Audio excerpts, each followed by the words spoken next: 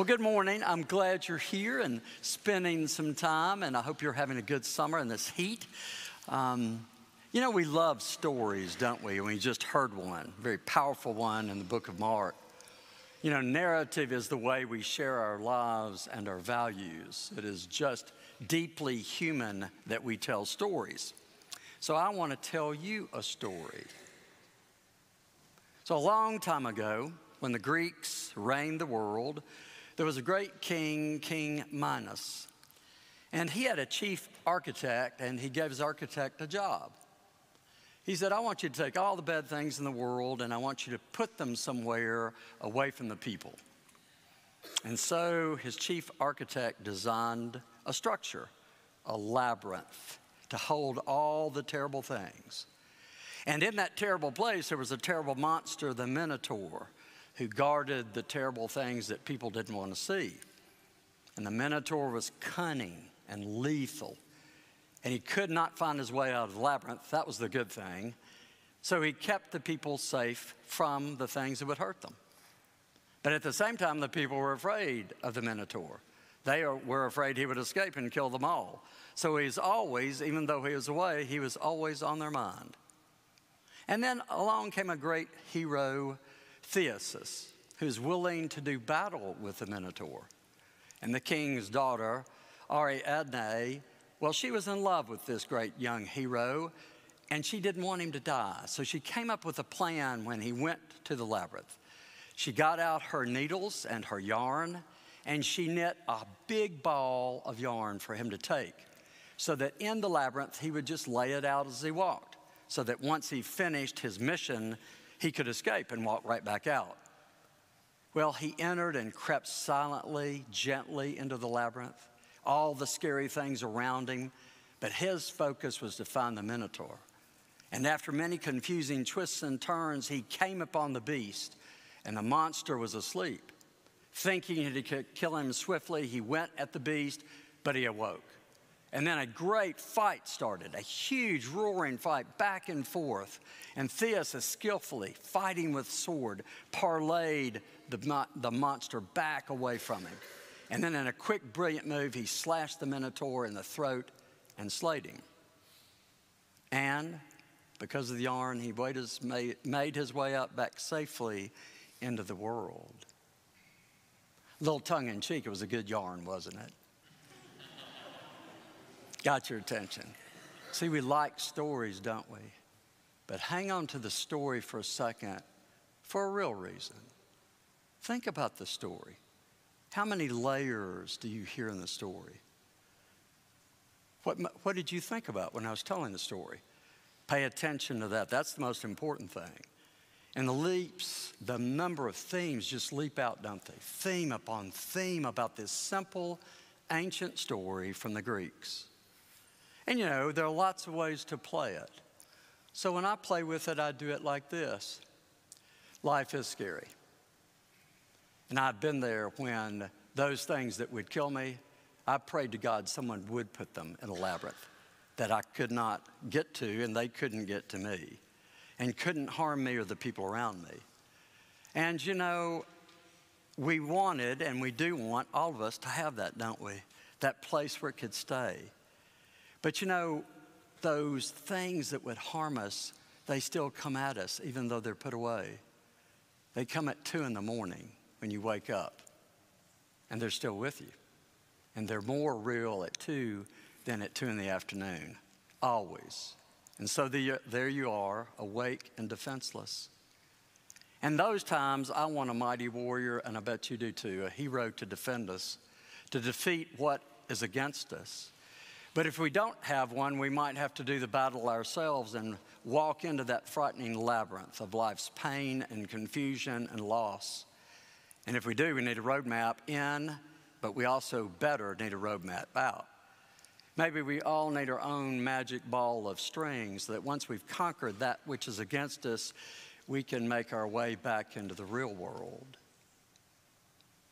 See, if we do justice to stories, you know what I've always wanted to do?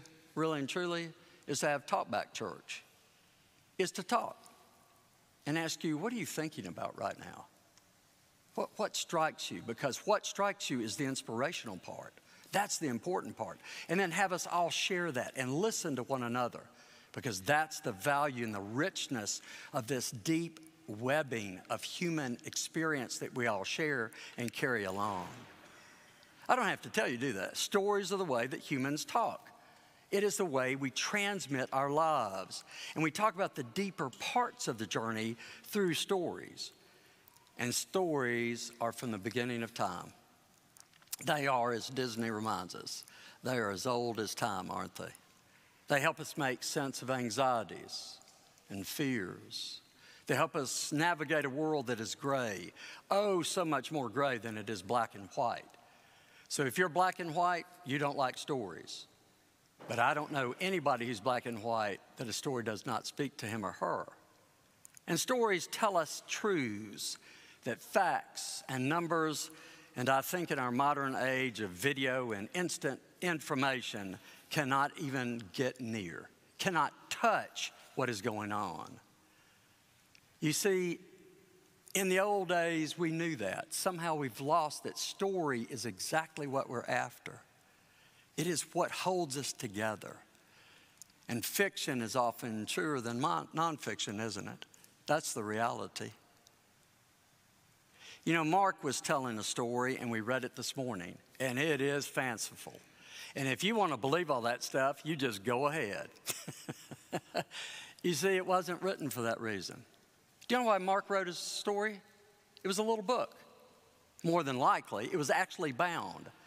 It was wildly popular in first century Rome to write little books about people. And they bought them like gangbusters. They were instant sellers. You clever, clever, clever Mark. You see what he's doing? He wanted people to read the story of Jesus. He wanted regular people who did not go to the underground, who did not hide themselves away to follow this Jesus, to access this powerful story so that everybody could hold on to it. He accomplished his mission, didn't he? The church grew tremendously after Mark's time, and we still read the book today. We still read this little book today over and over and over. And the story in this little book that we read today is based on a little bit of history that you don't know about and you probably don't care about, and that's okay too. But Herod, the main character, not a nice guy. The whole lineage of the Herods, they weren't nice people, but they were in power a lot. And did you catch what he did? Now, this is the uh, soap opera part. You ready? He took his brother's wife to be his own wife. You think that caused a family problem?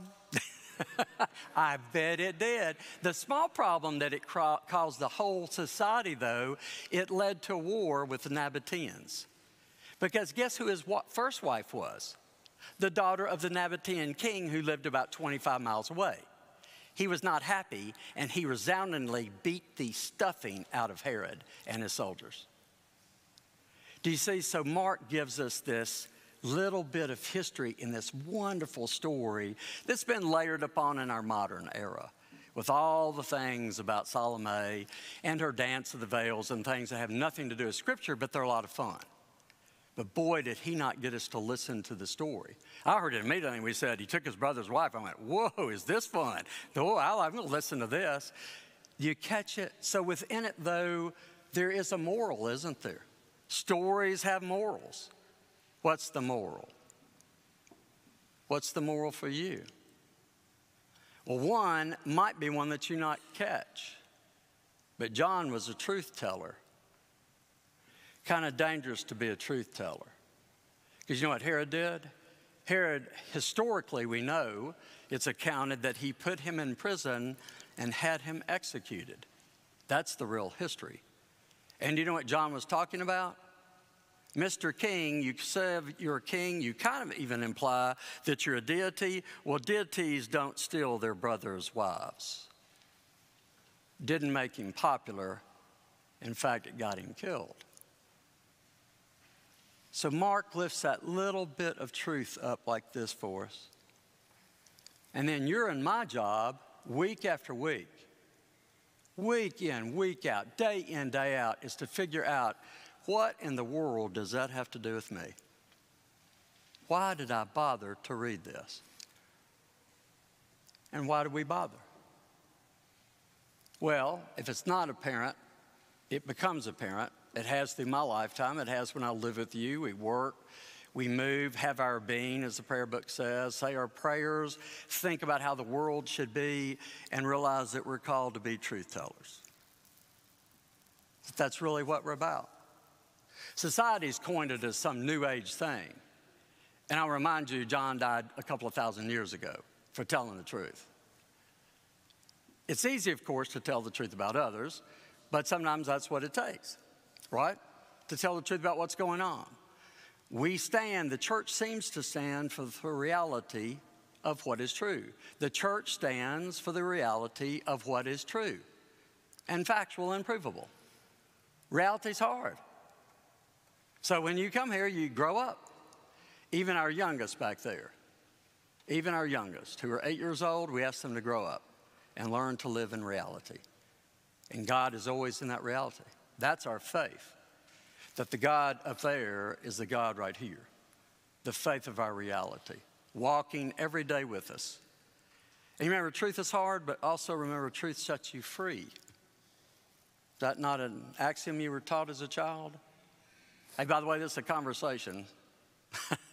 I'm not talking at you, I'm talking with you. We're taught that the truth sets us free. The truth sets us free. That's what this story's about. This funny little weird story. Free to follow and be part of the kingdom of God that God continues to build on your shoulders, on your faith in this generation. It's dependent on you all to leave here and go build the kingdom. It's dependent on me to go build the kingdom. That's what we're here to do to get some nurture, to get some sustenance, to hopefully find some direction, to find some counsel, find some fellowship and friends, find a place we can renew ourselves, and then go out there and do the work. It's a great job to have. And you don't have to look for it, it will come to you.